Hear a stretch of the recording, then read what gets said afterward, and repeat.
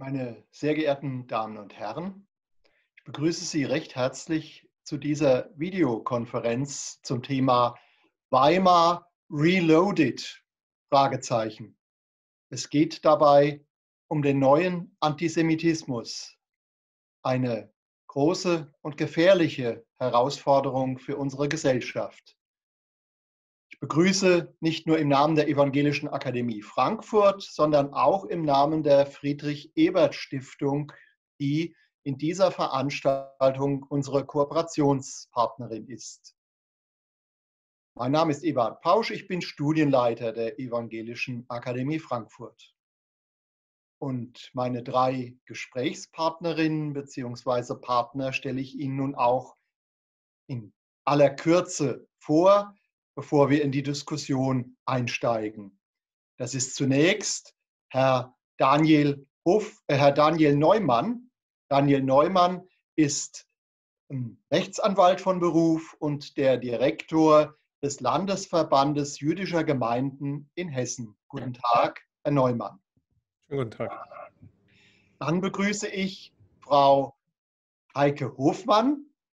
Sie ist auch Juristin von Beruf und seit einiger Zeit die Landtagsvizepräsidentin des Hessischen Landtages. Heike Hofmann ist Mitglied der Sozialdemokratischen Partei Deutschlands SPD.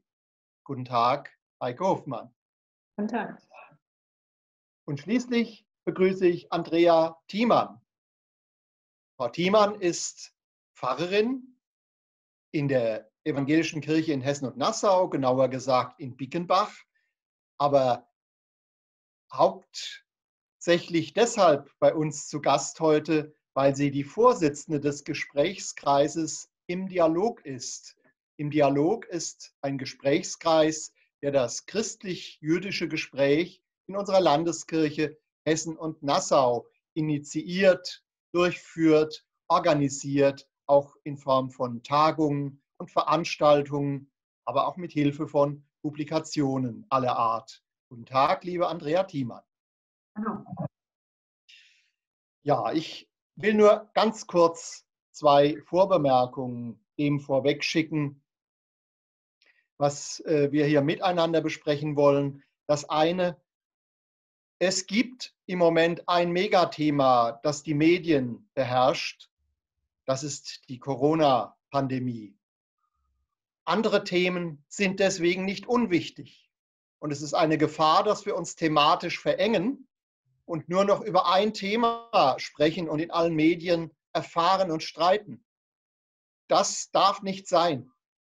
Auch andere Themen sind wichtig. Soziale Gerechtigkeit, die Klimagerechtigkeit, der Weltfrieden, die Abrüstungsthematik und eben auch der Antisemitismus, der neue Antisemitismus, wie er in dem Anschlag von Halle im vergangenen Oktober erneut sichtbar geworden ist.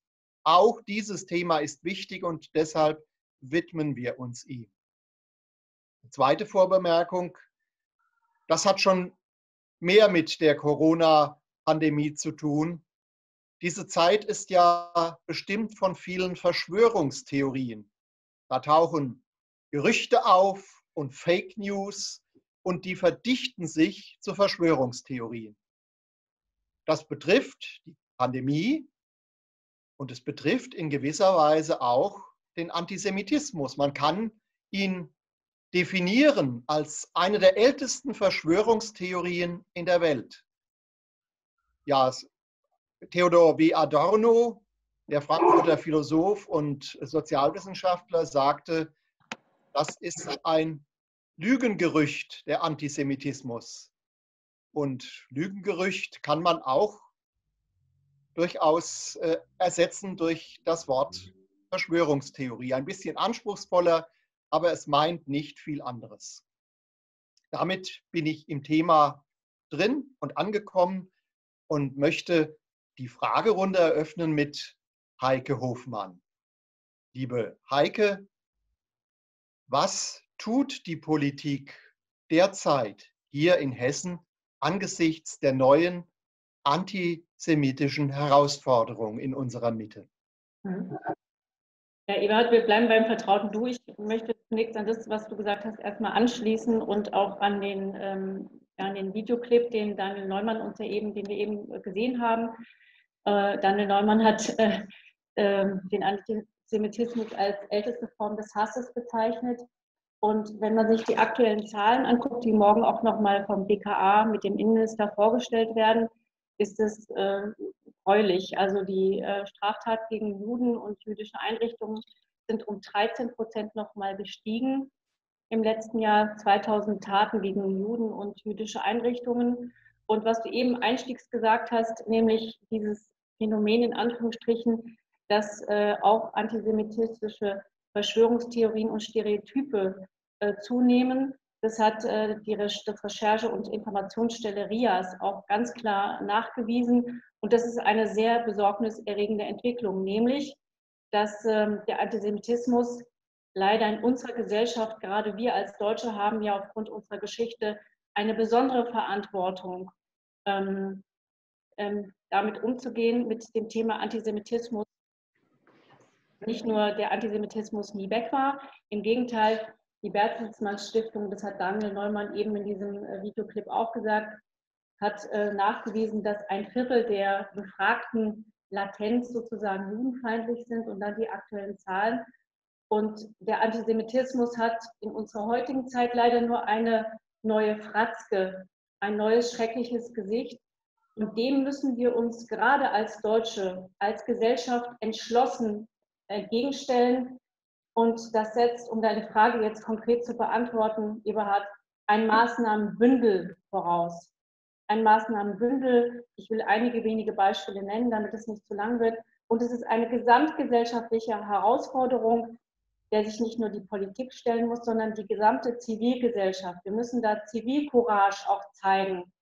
Nämlich das Allerbeste ist es für, die, für das Erstarken des Antisemitismus, wenn er einfach sozusagen äh, loswabern kann, wenn er sich entwickeln kann, wenn er sich verbreiten kann, wenn sich niemand gegen ihn stellt. Und ähm, ich möchte auf deine Frage konkret antworten. Ich finde, dass die Politik, wenn man sich das genau anschaut, entweder Bund oder Land, schon einiges macht. Es reicht aber nicht aus. Was wird gemacht? Zum Beispiel hat jetzt der Bund ein Bundesprogramm aufgelegt äh, mit über 150, 115 Millionen Euro Demokratie leben. Ähm, das über 5000 Projekte in ganz Deutschland fördert.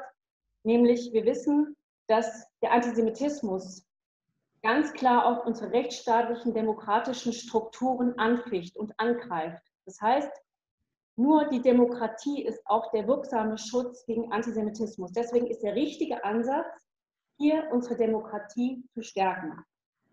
Und ähm, das als eines dann daneben, ich bin gleich fertig, ähm, ist es so, dass ähm, der Bund jetzt auch mit gesetzgeberischen Aktivitäten gesagt hat, wir müssen da nachjustieren, was ich auch wichtig finde, gerade auch als Rechtspolitikerin. Es wird jetzt gerade im Deutschen Bundestag ein Gesetz äh, gegen Rechtsextremismus und Hasskriminalität beraten und hoffentlich verabschiedet, in dem nicht das sogenannte Hate Speech, also die Hasssprache gerade im Netz. Denn gerade ähm, Antisemitismus äußert sich besonders aggressiv und besonders lautstark im Internet. Und da sagt der Gesetzgeber, da müssen wir nachjustieren. Das heißt, der Strafrahmen muss da erhöht werden bei solcher Hasssprache im Netz. Ähm, sofort muss auch der ähm, Provider das melden. Es müssen entsprechende auch Auskunftsbefugnisse gegenüber Telemediendienstanbieter äh, verankert werden. Das sollen verankert werden. Und was ich ganz wichtig finde, ist, das sage ich auch als Rechtspolitikerin, allein schon der Umstand des Antisemitismus, dass sozusagen diese Hassansprache mit einem antisemitistischen Hintergrund belegt wurde, wirkt strafverschärfend. Vielen Dank, Heike. Das ist ja schon ein ganzes Potpourri von Maßnahmen, die du da aufgezählt hast. Wenn du eine Million Euro zur Verfügung hättest und könntest Sofortmaßnahmen auf den Weg bringen in deiner Funktion ähm, im Hessischen Landtag, welche Sofortmaßnahmen würdest du vorschlagen? Mhm. Also ähm, jetzt rede ich mal aus der Landesperspektive, weil das ja auch sozusagen auch hier vor Ort unsere Aufgabe ist. Was ich ganz zentral finde, und das knüpft an das an, was ich vorhin gesagt habe, mit Demokratie stärken, ist, dass wir die politische Bildung aus unserer festen Überzeugung heraus schon in den Kitas Demokratieerziehung implementieren müssen. Da gibt es Ansätze, aber das ist noch nicht implementiert. Und wir müssen damit fortfahren in den Schulen. Weil wir haben das Fach Politik und Wirtschaft. Politik ist abgewertet worden als Fach in den letzten Jahren. Das müssen wir wieder aufwerten. Und ich finde es richtig, dass ähm, das ist auch eine Forderung des Präsidenten. Ich habe mit ihm jüngst erst Auschwitz besucht. Das hat mich sehr geprägt. Boris Rhein. Mit Boris Rhein, mit dem Landtagspräsidenten. Das hat mich sehr äh, geprägt, dieser Besuch, und äh, tief berührt. Und daraus ist erwachsen ähm, die Bitte und Anregung an die Politik, die leider noch nicht umgesetzt wurde, dass jeder Schüler im Rahmen in, in seiner Schulzeit einmal eine Gedenkstätte besucht haben muss, nämlich wieder das Vergessen. Das ist ganz wichtig, ein ganz wichtiger Ansatz. Wir dürfen nie das Geschehene, den Holocaust, die Shoah, die sich ja leider jetzt auch zum 75. Mal jährt, das dürfen wir nie vergessen, sondern müssen gerade für junge Generationen das natürlich in geeigneter Form ähm, in Erinnerung äh, belassen und sie auch entsprechend wachrütteln. Vielen Dank, Heike. Ein Erziehungs- und Bildungsauftrag hat natürlich der Staat, aber einen solchen Auftrag nimmt auch die Kirche wahr, die evangelische Kirche, die katholische Kirche auf ihre Weise. Damit gehe ich jetzt mal weiter zu Andrea Thiemann und frage dich, liebe Andrea, zunächst mal, was mich bestürzt. Wieso gab es eigentlich in den christlichen Kirchen über viele Jahrhunderte so etwas wie eine Judenfeindschaft, eben den Kern des Antisemitismus? Ähm, das ist doch auch ähm, eigentlich verwunderlich, oder? Denn ähm, im Grunde ist das Christentum eine jüdische Sekte, ist jedenfalls aus dem Judentum heraus entstanden. Warum diese Feindschaft? Also ich würde sagen, es hat dort wesentlich seine Ursachen an dem Auseinandergehen dieser beiden Religionen. Und insofern ist der christliche Antijudaismus sozusagen der Nährboden für den aggressiven Antisemitismus der Nationalsozialisten. Und ohne den christlichen Antijudaismus wäre auch der sogenannte moderne, ab 1800 aufkommende nationalsozialistische, sozialdarwinistische und rassistische Antisemitismus nicht entstanden.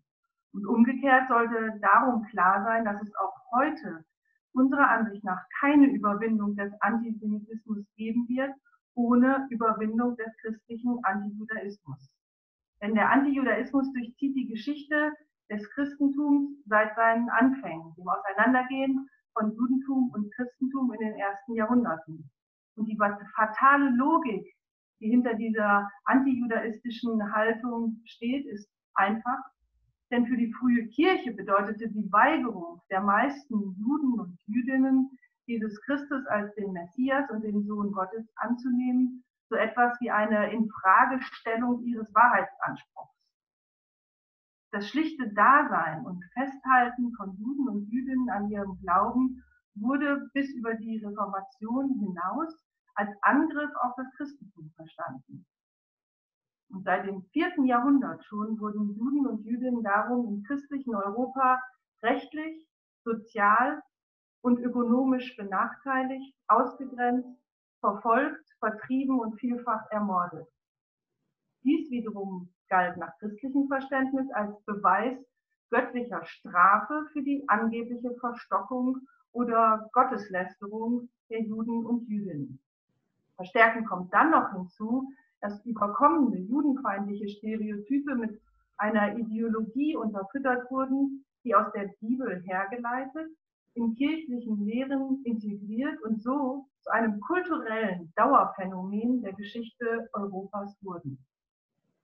Als Beispiel könnte man scharfe Äußerungen im Neuen Testament anführen, die ihrem Kontext, nämlich einer innerjüdischen Diskussion und Polemik entrissen, zu einer zeitlosen, zu zeitlosen Pauschalurteilen umgemünzt wurden. Wir können da denken an Sätzen, Sätze aus dem Neuen Testament wie Juden hätten den Teufel als Vater oder sie seien die Mörder Jesu und Feinde aller Menschen. Das lässt sich für Verschwörungstheorien auch heute gerne wieder aufgreifen. Nach damals offizieller Kirchenlehre behauptet zum Beispiel die sogenannte Enterbungslehre, Gott habe sein zuerst erwähltes Volk verworfen und seine biblischen Verheißungen auf die Kirche übertragen. Diese sei nun das wahre Israel und werde so selbst zum alleinigen Volk Gottes. In alten Kirchenliedern zum Beispiel finden sich solche Vorstellungen bis heute. Und dann nicht zuletzt die von Martin Luther entwickelte theologische Denkfigur von Gesetz und Evangelium, die Rolle des am Gesetz scheiternden, verworfenen jüdischen Volkes wurde damit festgeschrieben. Vielen Dank, Andrea. Das ist so ein Überblick in aller Kürze über kirchengeschichtliche Wurzeln des Antisemitismus.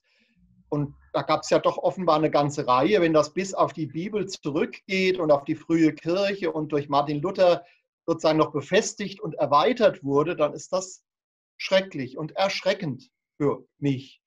Und das kulminierte ja dann im Holocaust, in der Shoah. Heike hat es schon erwähnt.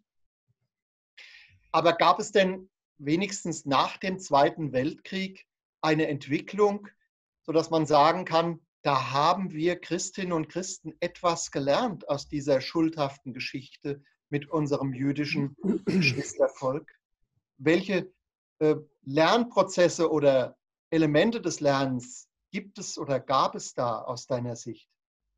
Also Anstoß war auf jeden Fall dieser massenhafte Mord an den Juden, dass man in Europa und in den Kirchen anfing, nach Kriegsende darüber nachzudenken, wie die eigene Rolle denn da eigentlich gewesen sei. Und in der ersten Nachkriegserklärung, dem sogenannten Stuttgarter Schuldbekenntnis der neu gegründeten evangelischen Kirche von Deutschland aus dem Oktober 1945, fehlte dann allerdings noch der Hinweis und der Bezug zur Shoah.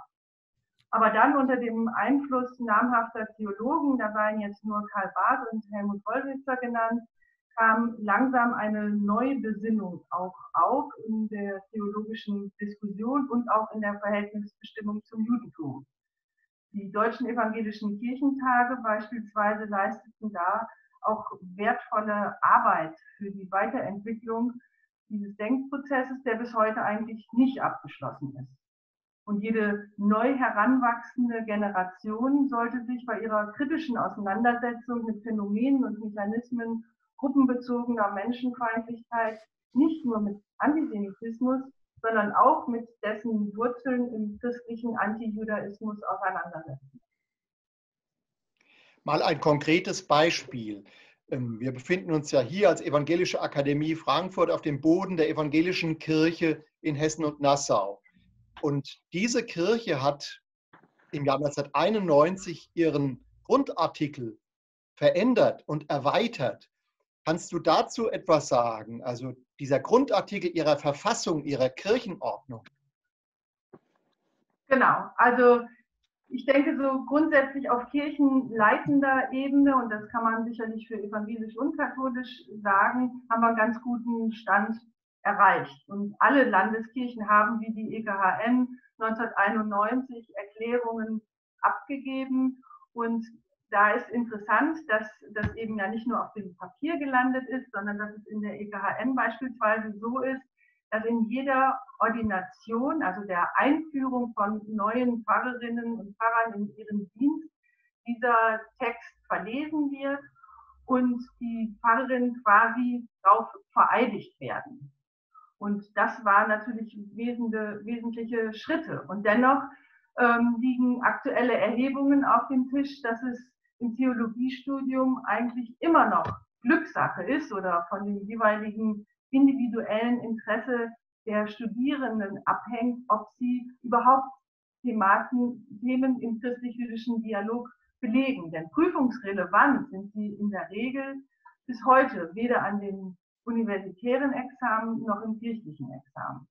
Und damit ist es also ähm, ja, meistens tatsächlich an den Pfarrerinnen oder Pfarrern, was in den jeweiligen Kirchengemeinden landet, was gepredigt wird und wie man auch in der gemeindlichen Arbeit ähm, mit dieser christlich-jüdischen Thematik umgeht. Ja, also ganz konkret, vielen Dank, Andrea. Ähm, dieser Grundartikel, da steht drin, es gibt eine bleibende Erwählung des Volkes Israel.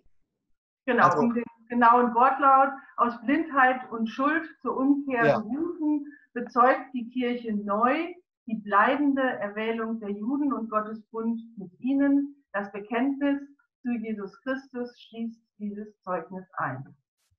Sehr schön, ja, genau. Es ist wichtig, diesen Satz immer wieder zu zitieren und in Erinnerung zu rufen. Er ist Grundlage des Wirkens unserer Kirche. Und wenn es heißt bleibende Erwählung, dann ist ganz klar, wer erwählt ist, der ist eben nicht verworfen. Und das, was über Jahrhunderte auch in den christlichen Kirchen gesagt wurde, die Juden sind das verworfene Volk, das wird hier theologisch ganz klar korrigiert.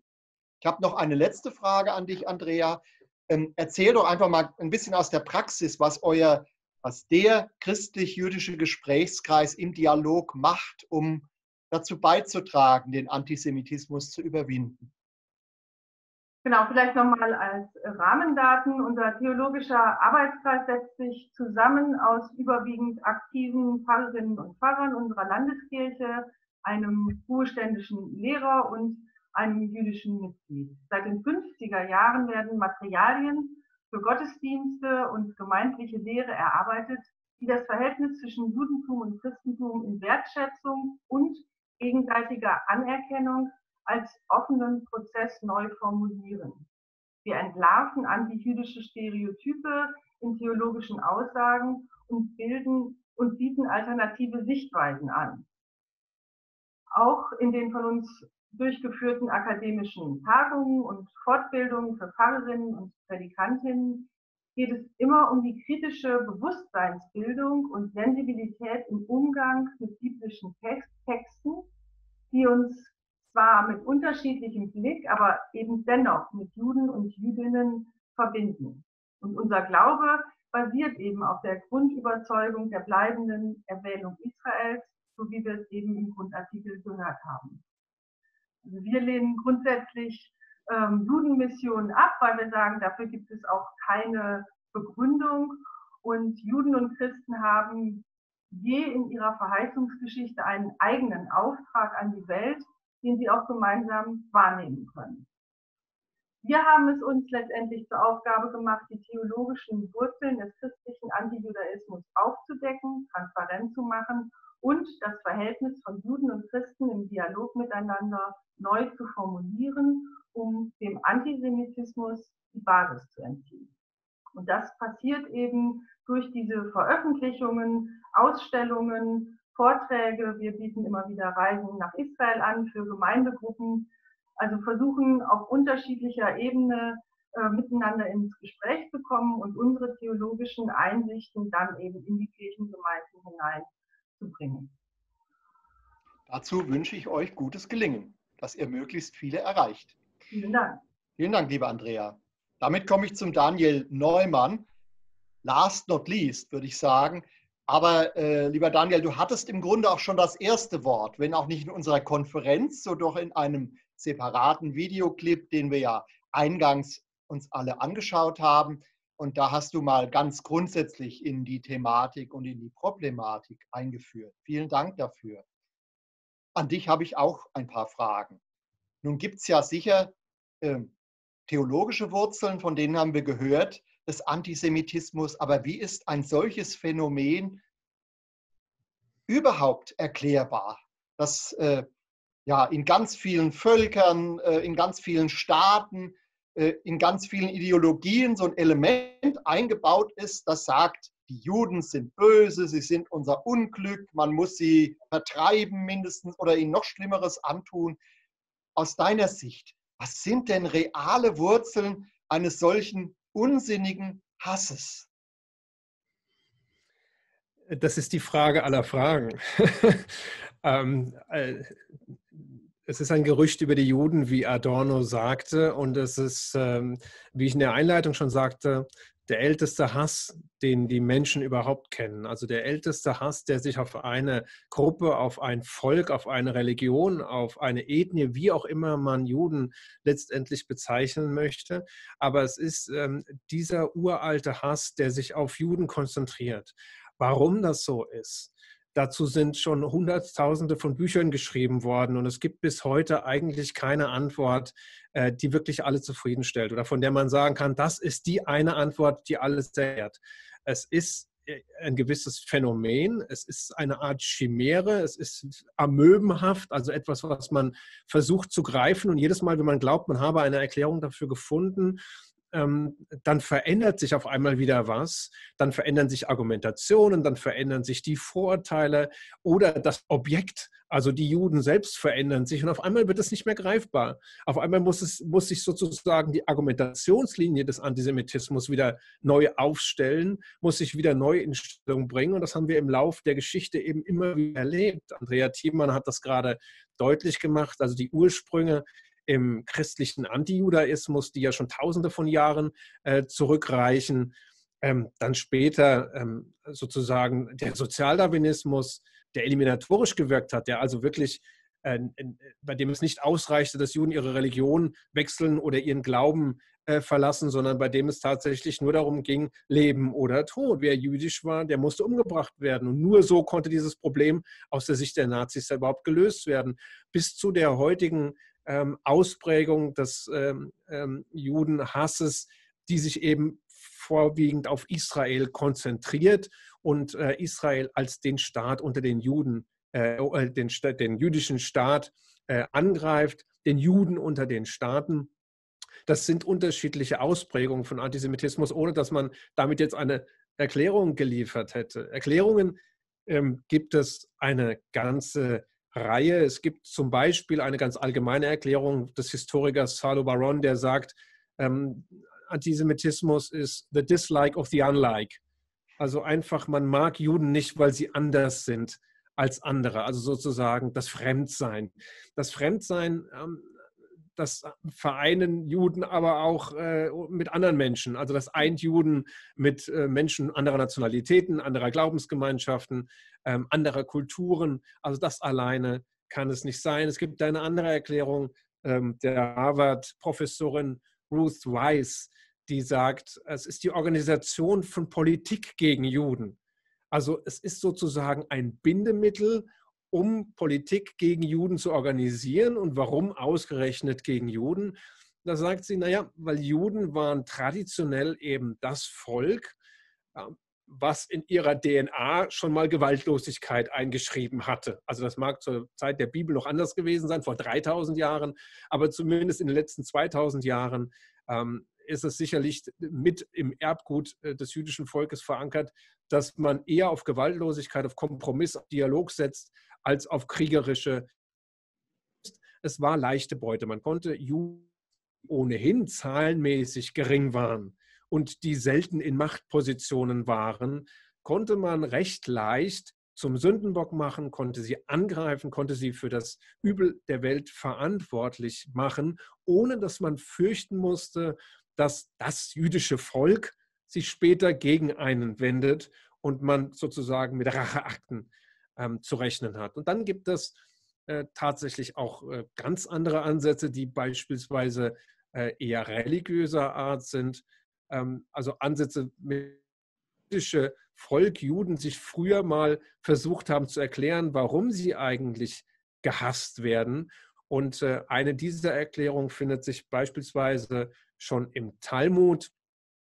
Und die sagt, der Hass auf die Juden ist äh, dem Sinai entsprungen. Was bedeutet das? Das bedeutet im Prinzip in dem Moment, in dem das jüdische Volk zu einem Volk wurde, die zehn Gebote bekommen hat, die Lehre der Torah bekommen hat, den ethischen Monotheismus sozusagen in die Welt tragen wollte, in dem Moment hat man sich eine ganze Reihe von Feinden gemacht. Weil in dem Moment, in dem man sagt, es gibt eine Moral und die ist universell und alle Menschen müssen sich an dieser Moral, an diesem Kodex messen lassen und in dem Moment, in dem man in einer paganistischen Welt sagt, alle eure Götter sind eigentlich nur Unfug und es gibt nur diesen einen Gott und das, was er sagt, ist richtig und danach sollte man sich orientieren, wenn man eine bessere Welt haben will, dann macht man sich mit diesen, mit diesen Ideen natürlich nicht nur Freunde.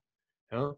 Und ähm, wenn dann auch noch das, was vorhin gesagt worden ist, also die Idee des auserwählten Volkes hinzukommt, eine Idee, die heute nur noch ganz wenige vertreten, weil den meisten Juden das selbst sehr unangenehm ist, diese Idee, äh, die mir aber sehr sympathisch ist, wenn man sie richtig versteht, nämlich als eine übernommene Verantwortung und nicht als irgendeine Art von Chauvinismus oder, oder Schlechterstellung. Das ist überhaupt nicht die Thematik.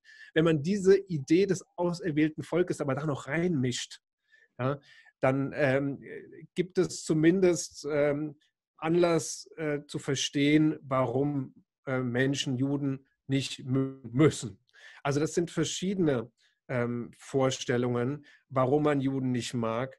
Was die meisten Vorstellungen allerdings verbindet, ist, dass Antisemiten sich in eine Opferrolle hineinbegeben, dass sie versuchen, Juden für all die Probleme, die sie haben, für all das Unglück auf der Welt verantwortlich zu machen, weil sie die entscheidende Frage nicht stellen, nämlich die entscheidende Frage ist, was habe ich falsch gemacht? Warum bin ich in dieser Situation, in die ich jetzt gekommen bin? Was hat mich da reingebracht? Warum geht es mir vielleicht ökonomisch schlecht? Warum geht es mir familiär nicht so gut? Warum bin ich gesellschaftlich nicht so anerkannt? Also äh, in all diesen Fällen würde eine selbstkritische Betrachtung dazu führen, mal, mal introspektiv zu schauen, mal zu schauen, was habe ich denn falsch gemacht? Woran könnte es liegen, dass ich mich in, diese, in dieser Situation wiederfinde? Einfacher ist es, die Verantwortung sozusagen äh, nach außen zu geben und zu sagen, ich bin nicht verantwortlich für mein Pech, für mein Schicksal, für meine ökonomisch schlechte Situation. Jemand anders muss verantwortlich sein. Und dieser jemand anders ist historisch das Volk, was eben seit Tausenden von Jahren eben gerne herangezogen wird. Ähm, und das sind die Juden.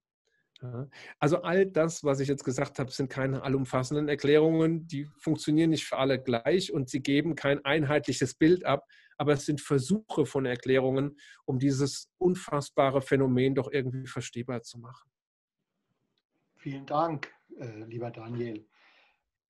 Ich würde dich gerne fragen, was wünschst du dir von der Politik und von den Kirchen an Handeln in der jetzigen Situation, in der wir sind, äh, gerade nach Halle. Was können wir tun? Also wir als Evangelische Akademie oder der christlich-jüdische Gesprächskreis oder aber eben der Hessische Landtag, die politischen Parteien in unserem Land. Was würdest du dir von uns wünschen? Also äh, sagen wir mal, die christlich-jüdischen Gesprächskreise als solche tun ja eben genau das, was wichtig ist, nämlich miteinander ins Gespräch kommen, äh, die andere Seite kennenlernen, den Dialog zu führen, um eben nicht nur monodimensional zu schauen, ähm, sondern eben die Vielfalt äh, von Sichtweisen auch kennenzulernen und dadurch lernen.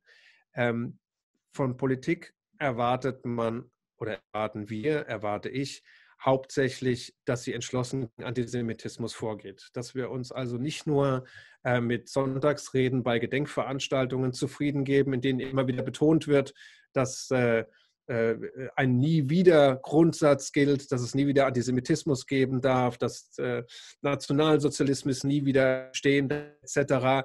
Das ist schön und gut. Aber das sind letztendlich natürlich äh, Worthülsen, die bei solchen Gelegenheiten tatsächlich immer wieder gesagt werden, die aber mit Inhalt gefüllt werden müssen. Und äh, Politik hat die Möglichkeiten, das mit Inhalt zu füllen, nicht alleine, nicht ohne Gesellschaft, ganz im Gegenteil. Aber sie muss die Grundlagen schaffen, um Gesellschaft zu befähigen. Und das äh, tut sie einmal durch Bildung, indem sie entsprechende Bildungsprogramme aufsetzt, indem sie also viel stärker darauf achtet, äh, was in Schulen eigentlich gelehrt wird, wie stark der Antisemitismus, aber nicht nur der Antisemitismus, sondern eben das, was zum Antisemitismus führen kann, ähm, gestärkt wird. Sprich, also, also nicht das, was zum Antisemitismus führt, soll gestärkt werden, sondern genau das Gegenteil. Sprich, kritisches Denken beispielsweise. Wenn ich also ähm, eben genau die Fächer stärke und die Inhalte stärke, die zu Hinterfragen führen, die zu Denken führen, die zu einer multidimensionalen Auseinandersetzung mit Themen führen, dann stärke ich im Prinzip die Skills, die Fähigkeiten, die ich brauche. Das ist ein, eine äh, Möglichkeit. Eine andere Möglichkeit ist natürlich das Strafrecht. Also äh, wenn der Staat deutlich machen will, dass er das nie wieder ernst nimmt, dann muss er auch die Mittel des Strafrechts konsequent anwenden und muss eben an bestimmten Punkten auch mal stärker zuschlagen, als er das momentan macht.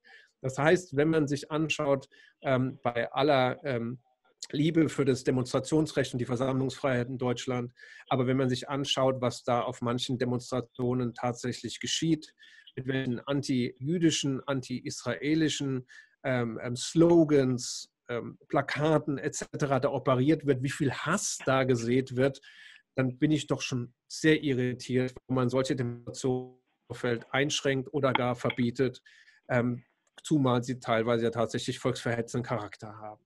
Also das sind jetzt nur mal zwei ähm, Erwartungen an die Kirche ist sicherlich, ähm, dass man dort weiterarbeitet, wo sozusagen äh, die Kirche hier in Hessen, Nassau zumindest, schon vor fast 30 Jahren äh, zumindest kodifiziert begonnen hat zu arbeiten. Halte ich für unglaublich wichtig, weil es eine Sache, ähm, so eine Grundsatzerklärung zu fassen und die auch zu publizieren. Und es ist eine andere Sache, die im Alltäglichen tatsächlich zu seinen Schäfchen äh, im Gemeindebetrieb sozusagen herunterzubrechen, die zu den Menschen zu bringen. Das ist eine der größten Herausforderungen, glaube ich, vor der sich Kirche sieht. Jahrhunderte und Jahrtausende Vorurteile, die eben entstanden sind, mit der Kirche Christentum ja auch immer wieder operiert hat, die sozusagen zu entkräften. Und die ja zum Teil auch Anknüpfungspunkte haben, bei denen sie leicht begründet werden können. Also der strafende Gott im Alten Testament beispielsweise, überhaupt schon das Alte Testament, die Begrifflichkeit, das ist uns so in Fleisch und Blut übergegangen, also nicht uns Juden, aber vielen anderen, dass es unglaublich schwer ist, ähm, an diesen Vorurteilen zu arbeiten, die aufzubrechen. Und da braucht es tatsächlich den Einsatz in jedem einzelnen Predigt, in denen man sozusagen die historischen Bezüge herstellt um da immer wieder klar zu machen, passt auf, begebt euch jetzt nicht auf Glatteis. Lasst euch nicht auf diese Rutschpartie ein, die euch direkt sozusagen in die alten antijudaistischen Vorurteile hineinrutschen lässt, sondern passt da auf.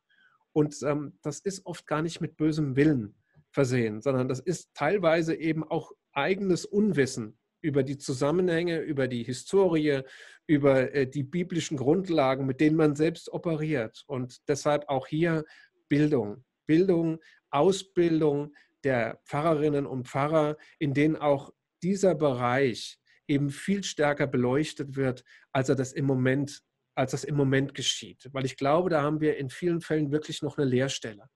Ja, also das wird mit sehr oberflächlichem Wissen operiert. Und dieses oberflächliche Wissen reicht einfach nicht aus, um solch einem uralten Phänomen, was so weit verbreitet ist, tatsächlich Herr zu werden. Vielen Dank, Daniel. Ich möchte jetzt der Andrea die Möglichkeit geben, darauf nochmal zu antworten und einzugehen, was eben Daniel gesagt hat.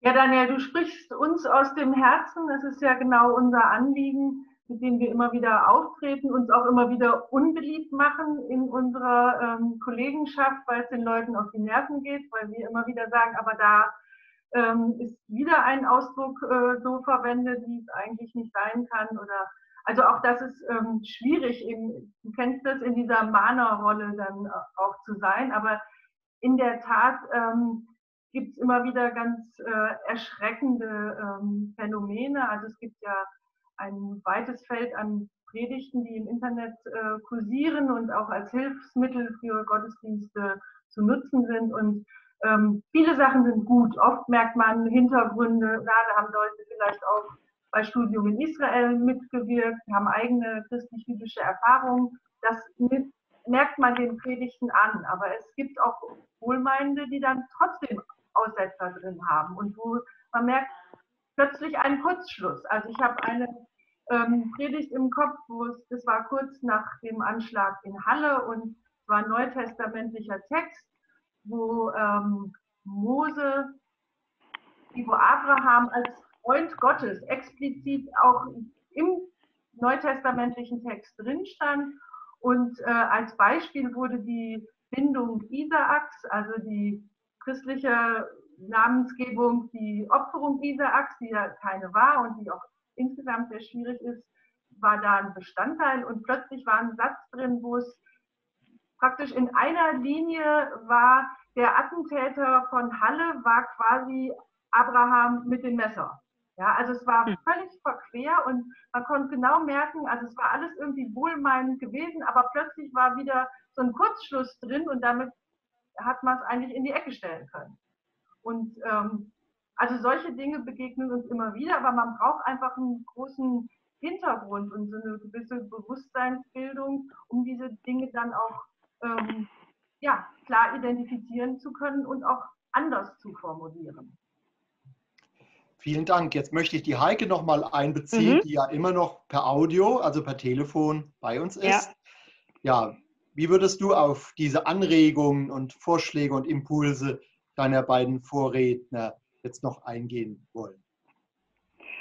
Ähm, ich möchte natürlich hauptsächlich auf das, was der Daniel Neumann zum Bereich äh, Politik und äh, Strafrecht mhm. ähm, gesagt hat, aber auch noch mal ein bisschen mehr akzentuieren, ähm, was aus politischer Sicht noch erforderlich ist. Ähm, Strafrecht ist angesprochen worden. Ich habe gesagt, was auf dem, was der Bundesgesetzgeber jetzt im Deutschen Bundestag mit der Gesetzesnovelle äh, zur Stärkung ähm, ähm, des Kampfes gegen den Rechtsextremismus und äh, gegen Hate Speech gerade berät, ähm, habe ich vorhin ausgeführt. Aber ähm, es ist so, dass ähm, aus meiner festen Überzeugung heraus in der Tat Polizei, Justiz und auch der Verfassungsschutz gerade zur Bekämpfung des Rechts, ähm, äh, nicht nur des ähm, ähm, Antisemitismus, aber auch des Rechtsextremismus, den möchte ich hier ausdrücklich nochmal erwähnen, mhm. ähm, das ist, dass die enger zusammenarbeiten müssen. Ja, und ähm, es ist auch so, dass ähm, ich es schon auch überlegenswert finde, dass äh, die Beleidigung, die im Moment als sogenanntes Offizialdelikt ausgestaltet ist, das heißt, ähm, nur wenn das Opfer auch sagt, ähm, ja, ich will, dass es strafrechtlich verfolgt wird, dass man sagt, dass ähm, das halt jetzt auch so ausgestaltet wird, dass es immer verfolgt wird, gerade im Internet. Ja, dann sind die Strafverfolgungsbehörden äh, freier und flexibler zu sagen, ja, äh, uns ist was aufgefallen im Netz, was gerade nicht mehr von der Meinungsfreiheit gedeckt ist, eine Äußerung, und die können wir auch entsprechend verfolgen. Ich finde, dass man das jetzt auch im Rahmen äh, der strafgesetzlichen Maßnahmen nochmal diskutieren muss, ob man sozusagen mit dem Beleidigungstatbestand anders umgeht.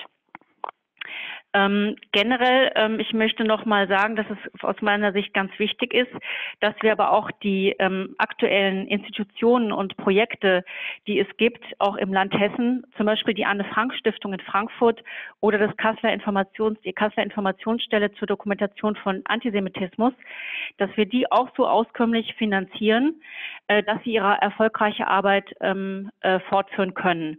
Da haben wir entsprechend auch jetzt Haushaltsanträge gestellt, weil nur eine durch eine auskömmliche Finanzierung können solche erfolgreichen Projekte auch in der Qualität und Gute, so wie wir es kennen, äh, fortgeführt werden. Jetzt bin ich wieder im Bild, was mich sehr freut. Außerdem sind wir der Meinung, dass es einen Demokratiebericht äh, auch für Hessen geben sollte. Den wollen wir einführen weil wir nur so über einen umfassenden Bericht, der alle Landesbereiche vom Land über die Landkreise, Städte und Gemeinden ähm, eine Bestandsaufnahme haben, äh, wo es noch was zu tun gibt und ähm, wo wir Verabsäumnisse haben. Solche einen Demokratiebericht gibt es bereits in Nordrhein-Westfalen. Und ein letzter wichtiger Punkt aus meiner Sicht und aus unserer Sicht ist es, dass wir sogar eine Landesstiftung für Demokratie einführen wollen die eben gerade in diesen Zeiten, wo die Demokratie auch durch den Antisemitismus angefochten wird, gar womöglich vielleicht sogar unterlaufen wird, ähm, unterstützt wird. Wir haben gesagt, da bräuchte man eine Million Euro, was jetzt nicht die Welt ist, einfach um auch mit allen Interessensverbänden, mit denen wir das organisiert haben, übrigens auch mit der Anne-Frank-Stiftung, die das äh, ausdrücklich unterstützt und gelobt hat, ähm, dass wir da auch nochmal wirklich Instrumente haben um auch dem Antisemitismus entgegenzuwirken. Und noch eine persönliche Anmerkung. Ähm, wir hatten erst jüngst als Landtagsfraktion ein Gespräch mit der jüdischen Gemeinde in Frankfurt. Und es bedrückt mich sehr, wenn ich von dort höre, dass mir jüdische Mitbürger erzählen, dass sie sich nicht mehr sicher in unserem Land fühlen. Und da ist für mich wirklich ganz klar eine rote Linie überschritten, die uns zeigt, gerade wir als Deutsche haben die Verantwortung, jüdische Mitbürger in besonderer Art und Weise zu schützen. Und da müssen wir einschreiten. Vielen Dank, Heike. Das ist sehr deutlich. Jetzt hast du auch die Frage von mir vom Eingang beantwortet, was man mit der 1 Million Euro Gutes tun könnte. Mhm. Ja, die Summe ist ja von dir auch gerade nochmal genannt worden. Ähm, die Erwähnung der Anne-Frank-Stiftung, ähm, das ist ähm, mir auch sehr recht, denn das ist eine wichtige Kooperationspartnerin von äh, unserer Akademie, von der Evangelischen Akademie Frankfurt. Wir arbeiten sehr gern und sehr häufig mit äh, der ja auch benachbart liegenden Anne-Frank-Stiftung zusammen. Und ich glaube, dass es wichtig ist, solche Kooperationen zu pflegen und weiterzuentwickeln. Da sind wir dran. Ich möchte Ihnen allen, euch allen dreien nochmal herzlich danken für die Beteiligung an dieser Diskussion und Videokonferenz. Wir haben die eine Stunde nun gut ausgefüllt, die dafür vorgesehen war. Viel länger wollen wir es nicht machen, auch im Blick darauf, dass dann solche sehr, sehr langen äh, Clips auf YouTube in der Regel nicht angeguckt werden. Aber eine Stunde oder dreiviertel Stunde bis 60 Minuten, das schaffen die meisten noch. Und vor allem, wenn es so gehaltvoll war wie heute. Ähm, schließen möchte ich, also einerseits mit dem Dank an euch drei, andererseits mit ja, der Erinnerung an ein Wort, was äh, unser Bundespräsident vor wenigen Tagen erst gesagt hat und was mich sehr beeindruckt hat. Er hat nämlich gesagt, man kann unser Land eigentlich nur mit gebrochenem Herzen lieben, unser Deutschland. Und ich glaube, auch unsere christliche Kirche, liebe Andrea, liebe Heike, ihr seid ja auch beide evangelische Christinnen, auch unsere evangelische Kirche kann man, wenn man auf die Geschichte blickt, nur mit gebrochenem Herzen lieben. Aber das darf man auch tun, sollte man tun. Und auf dieser Grundlage mit dem jüdischen Volk, mit der jüdischen Religion und mit allen Menschen, die guten Willens sind, zusammenarbeiten, damit solche Phänomene wie der Antisemitismus eben bei uns nicht mehr 25 Prozent Zustimmung finden. Das wollen wir senken, genau wie wir die Pandemiezahlen senken wollen. Das eine ist so eine wichtige Aufgabe wie das andere. Ich danke auch allen Zuschauern und Zuschauerinnen, die uns jetzt diese Videokonferenz über begleitet haben und wünsche Ihnen und euch allen ein, eine behütete Zukunft. Auf Wiedersehen und auf Wiederhören im Namen der Evangelischen Akademie Frankfurt und im Namen der Friedrich-Ebert-Stiftung. Ich danke sehr.